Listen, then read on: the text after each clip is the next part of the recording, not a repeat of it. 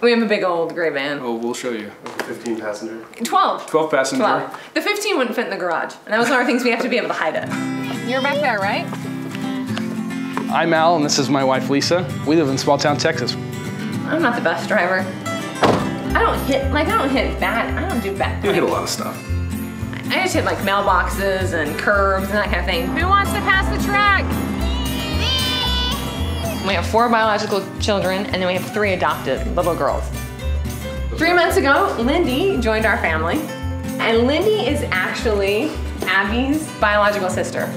The bio mom called us up and said, could the two sisters live together? We have biological parents that come visit the girls and have very healthy relationships with them. We just think it's better for our kids is that they know where they came from and that the more people you have to love you, mm-hmm. the better off you are in life. Uh, I do see kids all day long. It's, uh, it's almost a 24-7 kind of thing. I gotta put on a happy face. I gotta make sure my attitude is the way it needs to be because I wanna match what I'm gonna meet, whether it be at home or at work. This is Alligator Dental. This is where Lisa spends a couple days a week and where I spend my time. We've been here about three years at this location with our next door neighbor, the gastroenterologist. I work the front end, he works the back end. Hello folks, welcome, hey buddy. When kids come here, they've heard all the horror stories from parents or grandparents or brother or sister or whatever, and so our goal is to try and get that anxiety and stress to go away. I like cupcake shirts, you know why? Because I like cupcakes. The most important thing is the inviting atmosphere that we have and my staff. I try along with them, create a place where kids walk in, they get a smile, they get a handshake, and they see a trusting face. The way we live at home and our, our faith and our beliefs in God have translated into what we do in our day-to-day life and what I do here at work. And to treat people the way that God would treat us and trying to be kind and gentle is such an important way to treat everyone in life. And so we have brought that from home into this as well.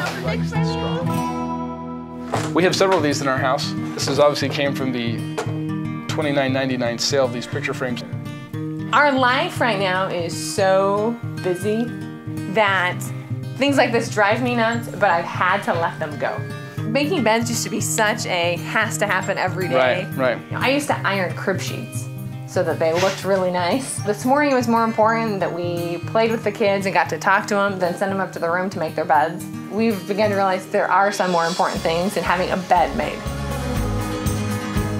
If we let one bad thing that happened with the kids or one bad thing that happened to the office, it kind of sours everything.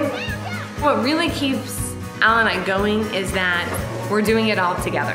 The ducky says quack quack. I'm a wife, I'm a mother, I'm a husband, and I'm a father. I'm a pediatric dentist. and I run his practice. My name is Al Burns, My name is Lisa Burns. and we are Mormons. What? yeah, we're coming.